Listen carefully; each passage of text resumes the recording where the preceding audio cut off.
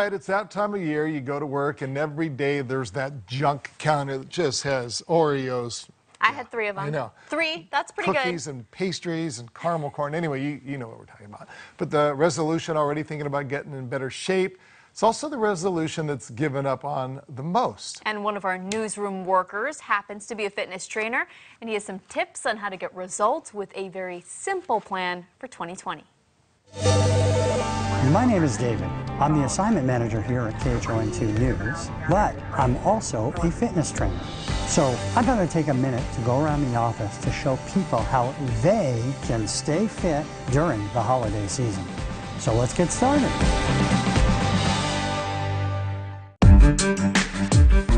Okay, we've got the lovely Bridget here, okay?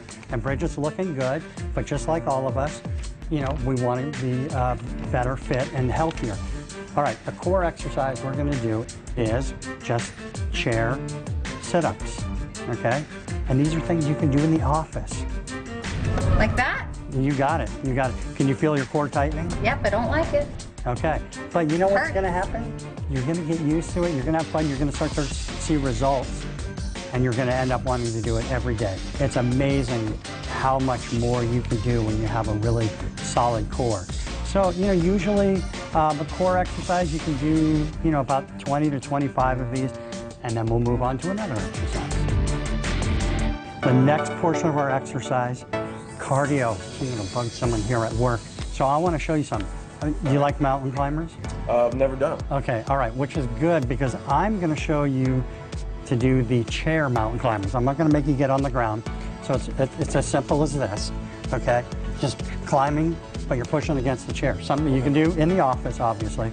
But here's the deal. Pick it up. There you go, there you go. Okay, slow down. You definitely will lose more in calories when you speed up and then slow down. And if you do this for, you know, when you're first trying out, maybe 30 seconds, um, and again, you speed it up, slow down, speed it up. Then after you get better, you can do these for a minute. And you can do them in between uh, sets where you're doing resistance. Okay, resistance is very important in the workout too. That's what builds your muscles. And we are gonna start off with this guy, and we're gonna work on lower body resistance. Okay, Eric, right. stand up for a second. Okay, okay, pretend you're gonna sit down in this chair, but I'm not gonna let you sit in. So get your butt back, okay, like you're about to sit down. Now go all the way down. Do that five times. You wanna feel the weight in your heels, and you never want your knees over your toes. Okay, so butt back a little bit more. There you go. That's much better. Okay, tighten your quads and tighten your glute muscles. I've found when we get older, sometimes it's really hard getting out of a car. Why? It's because we're not strengthening, keeping our, our legs strong and our glute muscles strong. All right, good job. Okay, we're gonna do overhead presses. So why don't you stand up for a second. Okay, the overhead press, you wanna have your chin tucked, okay? Shoulders retracted a little bit. Get your rear end back a little bit, bend the knees. Okay, put the muscles, or the weights up, and you wanna go like past your ears. Okay, so good, good, good, there you go. Now turn around a little bit so we can see that form. Okay, good, back And down. to here. Yep, yep, and then go back up.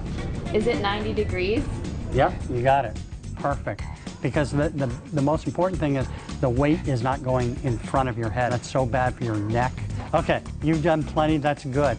Um, the exercise I've showed you, they're quick and effective and they're easy, they're fun, they're creative, and that's what we want you guys to be able to do because then you will want to continue to do this. Even if you do like three times a week, that's enough. Eventually you'll be like, hey, this is so much fun, I'll do it more than three times a week. Rest your body though, that's important too. But the importance is, is to do something that you like that gives you results. And then you won't give up on that New Year's resolution of being healthier. All right. Is her left bicep as big as her right it's side getting bicep? bigger. I It's swear. jiggly. Oh, yeah. No, I got a flex. See? It's jiggly. I've been working on it. Climb that mountain. You know, I've been. I actually I bought two weights. Keep them at my desk to work on it. I have I have photos. It's a slow Yeah. process. The- there you go. You're in good shape. I- When they Little were each doing that day. segment, I remember walking out of the newsroom or into the, the, that area and turning around going, nope, I'm not going to do exercise. Just like Manolo walking the back up. yeah, yeah. Anyway, I we- hike. We that's all. move on. That.